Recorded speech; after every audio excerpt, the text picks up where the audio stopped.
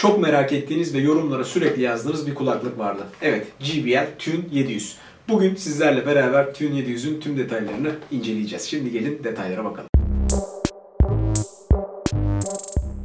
Öncelikle her zaman olduğu gibi sizden ufak bir ricam olacak. Lütfen kanala destek olmak için kanala abone olmayı ve aynı zamanda bu ürün hakkındaki yorumlarınızı yorumlar kısmına yapmayı unutmayın arkadaşlar. Biliyorsunuz bu kanalda bir sürü JBL ürünü ve bunların dışında da bir sürü kulaklık ve hoparlör inceliyorum. Daha öncesinde T500 modelini incelemiştim. JBL T500 modeli e, neredeyse kanalda en çok izlenen videolar arasında bir veya ikinci numarada olması gerekiyor. Çok ciddi bir talep var o kulaklığa. Sonrasında sizden gelen isteklerden kaynaklı olarak T460 modelini de satın alıp incelemiştim. Ve yine yorumlarda çok fazla görmeye başladığım JBL T700 yani Tune 700 isimli kulaklığı da çok fazla gördüğüm için artık bu kulaklığı da satın alıp sizlere eline boyuna incelemek, anlatmak istedim. İsterseniz sözü fazla uzatmadan gelin kutu açılışına ve gövde özelliklerine hızlıca bakalım. Evet JBL Tune 700 BT modelinin kutu açılışını ve gövde özelliklerine şöyle hızlıca bir göz atacağız. Gördüğünüz gibi zaten klasik bir JBL kutu tasarımına sahip. Yine burada her zaman olduğu gibi JBL'in kullandığı slogan Pure Bass özelliğini buraya vurgulamışlar ve aşağısında da kablosu olduğu yazılmış. Alt tarafında bir Bluetooth ikonu görüyoruz ve hemen sağ tarafta ise 27 saatlik bir e, pil performansının olduğu buraya ufak bir ikonla belirtilmiş. Yan tarafına geldiğimiz zaman ise burada tuşların ne işe yaradığını buraya yazmışlar. Onların zaten üstünden geçeceğimiz için üstünde durmuyorum. Burada arka tarafında cihazı Aztek getiriyor. Aztek'in bir kullanım kılavuzu ve aynı zamanda garanti belgesini görüyoruz. Burada ise bir takım önemli özelliklerin altı çizilmiş. Hafif ve katlanabilir bir tasarım olmasından bahsedilmiş ve aynı zamanda kablonun çıkıp tekrardan kablo olarak da kullanılabilen bir yapıya sahip olduğu yazılmış. Pil konusuna ön tarafında zaten 27 saatlik performansı olduğunu söylemiştik ama burada önemli bir nokta var. Hızlı bir şarj özelliği var ve bayağı hızlı bu. 5 dakikalık bir şarj ile 2 saatlik pil performansını bizlere sağlayabilen bir yapısı var bu kulaklığın. Kutuyu şöyle şuralarından şöyle açalım. Şuradaki stickerları keselim ve sonrasında kutumuzu şöyle her zaman olduğu gibi bir açalım. Kutu tasarımı olarak aynı JBL T500'e benzettim bunu. Çünkü orasında onun da şuralarında şöyle plastik bir alan vardı. E, kulaklığımıza şuradan ulaştık. Yine alırken bu cihazı mavi rengi tercih ettim. Biliyorsunuz mavi rengini seviyorum. Bunların dışında kutunun içerisinden iki tane kablo çıkıyor. Bunlardan bir tanesi cihazı kablo olarak da kullanabileceğimiz AUX kablomuz. Bunların dışında ise yine klasik turuncu renkte GBL e, şarj kablosu var. Yine üzücü nokta USB Type-C üzerinden değil. E, burada hala daha micro USB bir şarj girişi görüyoruz arkadaşlar. Artık bu cihazda bile yani e, bunu görüyor olmak ciddi manada üzücü. Çünkü Tune 700 dediğimiz zaman artık burada 500'ün üstünde bir model. Hani burada bunu görmek beni üzdü ne yazık ki. E, gövde yapısına geldiğimiz zaman e, hani gövde yapısının vermiş olduğu hissiyat T500'e benzer ama ondan bir tık daha kaliteli. Yani e, şuralarındaki plastiklerin geçişi ya da plastiğin vermiş olduğu hissiyat güzel.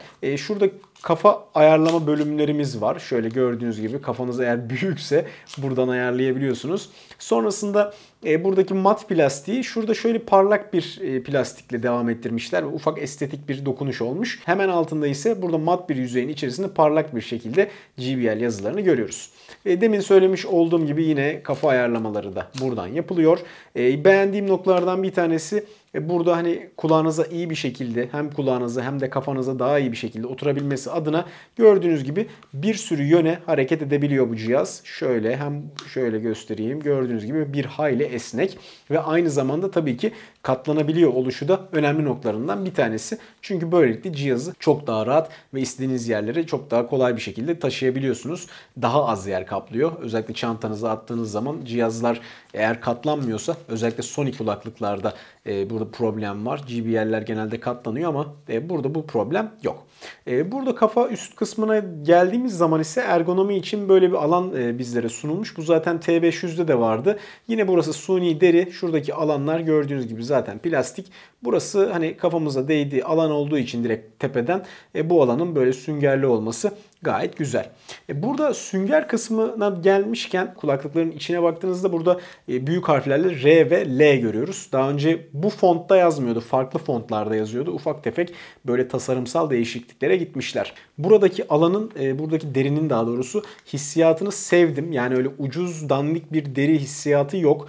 Hani onu söyleyebilirim gönül rahatlığıyla. Hani kulağımızı kapsıyor mu yoksa kulak e, üstünde mi duracak e, bilmiyorum. Çünkü benim kulaklar biraz büyük olduğu için buraya sığar mı sığmaz mı kulağımı rahatsız eder mi onu ergonomi kısmında sizlere bahsedeceğim. E, cihazın zaten 4 farklı rengi var. Demin de söylediğim gibi ben burada mavi rengini tercih ettim ama siz farklı renkleri e, gönlünüze göre alabilirsiniz. Burada cihazımızı şarj edebileceğimiz alan şuradaki alana konumlandırılmış. Hemen yan tarafında bir bölüm var. Bu bölüm hep soruluyor ama inanın ben de bilmiyorum. T500'de de vardı bölüm. E, şarj girişiyle ilgili olarak micro USB bir e, kablo üzerinden şarj oluyor. Zaten demin turuncu kabloyu size göstermiştim. E, bence artık bu dönemde, bu devirde e, burada hala micro USB görmek üzücü. Bunu söyleyebilirim. Tuş yapısına baktığımız zaman tuş yapısı da bence birebir T500'den alınmış diyebiliriz. E, çok benzer bir yapısı var T500'e burada tuşların. Gördüğünüz gibi bir tane eksi tuşu var. Ses kısma, sonra ses yükseltme ve orta tarafta da ise çoklu kullanıma uygun bir tuş var. Gelen çağrıyı kabul etme ya da bitirme, sonlandırma ya da çalan şarkıyı durdurup başlatma gibi özellikler buradaki tuşa atanmış. Hemen yan tarafında ise gördüğünüz gibi bir tane kablo giriş bölüm var. Yani bu cihazı isterseniz kablolu olarak da kullanabiliyorsunuz. Yine kimileri tarafından sorulan önemli noktalarından bir tanesi T500'de olmayan özelliklerden bir tanesi aynı zamanda. Yan tarafında ise cihazın açılıp kapanma tuşu buraya konumlandırılmış. Burada da bir tane ledimiz var. Bu led üzerinden cihazın açık olup olmadığını, pilinin kalıp kalmadığını rahat bir şekilde anlayabiliyorsunuz. Sol tarafta ise herhangi bir şekilde bir şey yok. Ee, herhangi bir tuş vesaire, giriş vesaire falan bir şey yok. Şimdi isterseniz gelin bir de stres testini gerçekleştirelim bu cihazın. Şöyle her zaman olduğu gibi kulak üstü kulaklıklara yapmayı sevdiğim testlerden bir tanesi. Gayet iyi bence. Stres testinden geçtiğini düşünüyorum. Ee, herhangi bir şekilde ses de gelmiyor. Şöyle bakalım bir gıcırdama vesaire bu tarz bir ses de yok. Burada aslında gövde yapısı konusunda geçerli notu aldı diyebiliriz dayanıklık açısından. Şimdi isterseniz incelememize devam edelim. Evet kutu açılışını gerçekleştirdik ve gövde özelliklerine baktık. Daha öncesinde sizlere 4 tane farklı renginin olduğunu söylemiştim. Burada renklere bakacak olursak arkamda gördüğünüz yani şurada gördüğünüz mavi renk bunların dışında kırmızı, beyaz ve siyah olmak üzere toplamda 4 tane farklı rengi var. Ben genellikle mavi rengi tercih ediyorum ama sadece tek uyarım beyaz için olacak. Beyaz biraz hızlı ve çabuk kirlenebileceği için e, uzun ömürlü olmayabilir. O yüzden hani beyaz dışındaki renkler daha mantıklı geliyor bana. Ağırlık konusuna geldiğimiz zaman ise ağırlık olarak yaklaşık 220 gram gibi bir ağırlığı var bu kulaklığın. Yani hafif aslında hani ağırlık diyoruz ama tam tersi hafif bir kulaklık. Aynı şekilde katlanabiliyor oluşu ve kenarlarda oynayabiliyor oluşu da yine ergonomiyi ciddi şekilde yükseltiyor arkadaşlar. İsterseniz şu şekilde kulaklığımızı bir alalım standtan. Şöyle bir kulağımıza takalım. Kulağımıza taktığımız zaman nasıl bir ergonomisi var ve e, bizlere nasıl bir e, kulaklık deneyimi yaşatıyor onlardan bahsetmek istiyorum. İlk olarak şöyle kafamda gördüğünüz üzere durum budur. Yani gayet güzel duruyor bence. Özellikle T500'de e, bir problem yaşıyordum ben. T500'de eğer sizin de kulağınız benimki kadar büyükse kulağınızın üstünde duruyordu o kulaklık. Ancak burada T700 modelinde kulaklık pedleri büyük olduğu için kulağınızı içine alıyor ve uzun kullanımlarda çok daha rahat ediyorsunuz. Yani ergonomi konusunda öncelikle olumlu bir yönde başlamak istedim. Sonrasında pedlerin e, yumuşaklığı zaten demin kutu açılışında da bahsetmiştim. Gayet güzel. Herhangi bir şekilde bir sıkıntı yaratmıyor.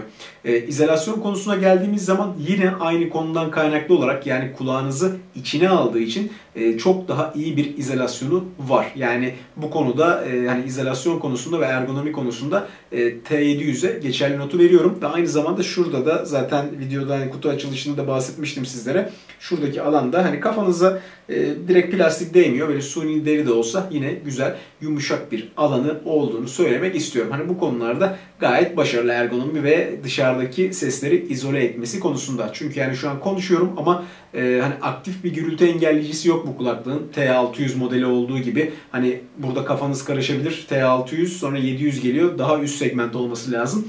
Ancak burada bir aktif gürültü engelleyici yok. Pasif gürültü engelleyici yani pasif izolasyon demek daha doğru olur. Pasif izolasyonu gayet başarılı ve güzel. Kulaklığımızın pil performansına geldiğimiz zaman kulaklık bizlere 27 saatlik bir pil ömrünü sunuyor ve aynı zamanda hızlı şarj özelliği de yine rakiplerine göre bayağı bir gelişmiş. Yani 5 dakikalık bir şarj ile 2 saat boyunca müzik keyfini bize sunarken aynı zamanda içerisinde bulunan 610 mAh'lik pil ise toplamda 2 saat içerisinde fulllenebiliyor. Yani burada e, pil konusunda güzel noktalar var ama yine eleştirdiğim nokta USB Type-C gibi bir giriş konumlandırılmamış. Hala daha JBL'in elinde micro USB'ler kalmış belli ki hem giriş hem de kablo olarak burada çok fazla üretim yapmışlar herhalde. Yoksa artık sene hani 2020-2021 geliyor. Hala da micro USB'den şarj edilen kulaklıklarla karşı karşıyayız ve hem de JBL gibi bir markayla kulaklığımızın bağlantı özelliklerine geldiğimiz zaman yine burada nispeten e, aslında hani rakiplere göre daha düşük özellikler görüyoruz ne yazık ki. Bluetooth 4.2 ile beraber geliyor. Yani Bluetooth 5.0, 5.1, 5.2'nin konuşulduğu bu günlerde Bluetooth 4.2 ile beraber gelmesi üzücü. Ancak tabii ki burada şöyle bir nokta var. E, yani bağlantı ile ilgili herhangi bir problem yaşamadım. Gayet akıcı ve hızlı bir bağlantısı var. Cihazı açar açmaz hemen otomatik olarak bağlanabiliyorsunuz. Yani bir gecikme problemi vesaire yaşamadığımı söylemek istiyorum. Aynı şekilde Netflix ya da YouTube üzerinden video izlerken de bir ağız senkron problemi de yine bulunmuyor. Burada Bluetooth sürümünün 4.2 olması ilk başta üzücü olsa da sonrasında herhangi bir problem yaşamadığımızı görünce pek de problem yaratmıyor. Aynı anda iki farklı cihaza bağlanamıyoruz. Yani ne demek bu? Aynı zamanda bir telefon ve bilgisayar ya da iki telefon gibi bağlantıları ne yazık ki gerçekleştiremiyoruz arkadaşlar bağlantı konusunda. Evet gelelim ses performansına. Ses performansı kısmına geldiğimiz zaman burada 40 mm'lik sürücülerle beraber geliyor bu kulaklık. Yani hali hazırda T500'den biraz daha büyük sürücülere sahip. Aynı zamanda kulağınızın üstünde değil ve kapsamadığı için 40 mm'lik sürücülerle beraber beraber geliyor. Bu kulaklıkla çok fazla müzik dinledim ama aynı zamanda film vesaire de izledim. Burada hani kutuda şey yazıyordu hatırlayacaksınız. Pure Bass yazıyordu. Yani saf bas özelliği yazıyordu. E, açık konuşmak gerekirse yani JBL gibi bir kulaklıktan bas konusunda biraz zayıf kaldığını düşünüyorum ne yazık ki. Sesin yüksekliği bayağı bir yüksek. Yani o konuda e, neredeyse rahatsız edici seviyede yüksek. Ben genellikle hani bir denedim nasıl bir yüksekliği var diye. Belli bir süre dinledikten sonra rahatsız bile edebiliyor. Ama hani sesin temizliği açısından bir problem yok. Tizler, midler değiller. Bu konuda hiçbir şey yok. Gayet net ve güzel bir hani şıkır şıkır diyorum ya şıkır şıkır bir müzik var ama dolgun bir bas yok. Beklediğim dolgun bas bu kulaklıkta ne yazık ki yok arkadaşlar. Yani aslında JBL'in karakteri biraz daha biliyorsunuz bas ve şeyi severdi aslında normalde ama ne yazık ki burada bas severler için olumlu bir şey söyleyemeyeceğim. Çünkü hani bas konusunda ciddi manada zayıf kaldığını söyleyebilirim. Ama onun dışında müzik konusunda herhangi bir sıkıntısı yok. Tek uyuz olduğum nokta yine T500'de de vardı bu. T500'de de son seste bir daha zorladığınız zaman böyle bir uyarı sesi geliyor ve o an dinlediğiniz müzik duruyor ve hemen böyle bir uyarı sesi geliyor. Sonra müzik tekrardan yükseliyor. Ya bunu beğenmiyorum. Keşke bunu yapmasalar. Niye böyle bir şey yapıyorlar? Tamam artık ses sona geldiyse açma sesi ya da bir uyarı verme. O şekilde devam et bence yani. Bunların dışında e, yine GBL'lerin kronik problemi olan dip ses problemine geldiğiniz zaman ben burada hala hazırda test ettiğim cihazımda iPhone 11 Pro Max'ti. Yani herhangi bir şekilde bir dip ses problemi ben yaşamadım ama aynı konu T500'de de geçerli. T500'de ben de dip ses problemi yaşamamıştım ama e, yorumlara baktığım zaman neredeyse kamyonla kişide e, ciddi manada dip ses problemi var. O yüzden hani buna da dikkat etmenizi öneririm arkadaşlar. Bağlantı konusunda eklemek istediğim bir diğer nokta ise bu cihazı isterseniz aynı zamanda kablolu olarak da kullanabiliyorsunuz. Kutusunun içerisinden bir kablo çıkıyor ve o kablo ile beraber kablo olarak da kullanabiliyorsunuz. Özellikle Bluetooth'u kullanmak istemiyorsanız ya da cihazınızın pili bittiği zaman kablolu üzerinden kullanmak istediğiniz anlarda buna da el verilmiş. Evet şimdi isterseniz gelin dışarı çıkalım. Dışarıda JBL Tune 700 bizlere nasıl bir mikrofon performansı sergiliyor buna bir bakalım. Evet arkadaşlar çok güzel bir havada şimdi JBL T700 kulaklığın mikrofon performansını test etmeye yine her zaman olduğu gibi burada görmüş olduğunuz ışıkların oraya geldik. Ama ne yazık ki şu anda da e, hiç araba geçmiyor. Şöyle biraz daha ilerleyelim. E, T700'ün ergonomik açıdan hani biraz yorumlayayım isterseniz. Hem de arabalar gelsin biraz dış sesi de duyalım. E, açık konuşmak gerekirse hani T500'e göre çok daha rahat bir kulaklık olduğunu söyleyebilirim. En azından kulağınıza baskı yapmıyor. Şu anda da artık yavaş yavaş arabaların geçtiğini görüyoruz ve aynı zamanda duyuyoruz. Tabi bunun mikrofona olan etkisi nasıldır? Bunu hep beraber bilgisayar başında dinlerken karar vereceğiz. Umarım iyi bir performansı vardır. Çünkü hani kulak üstü kulaklıkların mikrofon performansları e, gerçek kablosuz kulaklıklara göre biraz daha başarılı oluyor. Çünkü daha iyi bir mikrofon koyma imkanları bulunuyor yer fazla olduğu için. Evet bu da JBL T700'ün mikrofon performansıydı arkadaşlar. Peki ya sizin yorumlarınız ne? Beğendiniz mi mikrofon performansını? Aşağıda yorumlar kısmına yazmayı unutmayın. Evet fiyat performans kısmında ise burada yaklaşık olarak 600 ila hatta 599 ila 750-800 TL bandında bu kulaklığı satın alabiliyorsunuz arkadaşlar. Özellikle bu dönemde değişik indirimler olabiliyor. Ben de bu cihazı satın aldığım linki aşağıda da bırakıyorum. Eğer siz de hani JBL T700'ü düşünüyorsanız oradan bir göz atabilirsiniz.